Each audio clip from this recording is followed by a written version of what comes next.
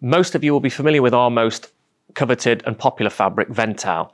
Um, the cotton was developed here in Manchester during the Second World War. Uh, it's 100% waterproof, and we run it all year round in most of our um, popular shapes and silhouettes, like the Ventile Harrington here in olive. We've also introduced this guy in a French navy. So uh, full raglan sleeve, copper zip, two patch pockets, working shirt cuff. Um, it's probably our most popular silhouette, the Harrington, all year round. And this comes in an array of colours. Sky blue, French blue, midnight blue, lots of blue. We've also got this guy, which is all new for spring. This is our pullover smock.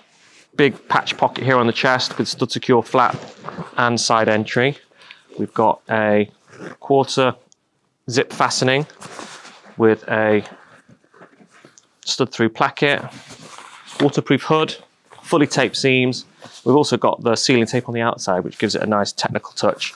Um, and you have a zip at the hem to ease and assist as and when you're popping over. Um, so this is more of a, a, shell garment for when it's raining, and it, and it, rains every now and then in Manchester and elsewhere in the UK.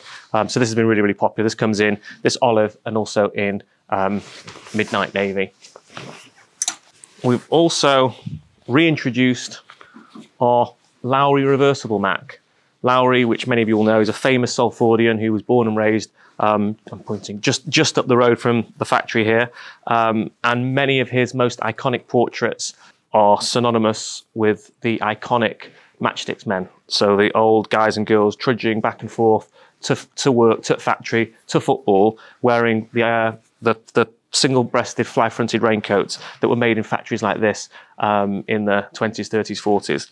Um, so this is reversible. So on the one side you have a fully waterproof Ventile shell, patch pockets, flaps, and then the reverse is in a merino wool, um, depending on your your day, your mood. You can have a, a woolen outer in a forest green or a waterproof uh, shell. Love it.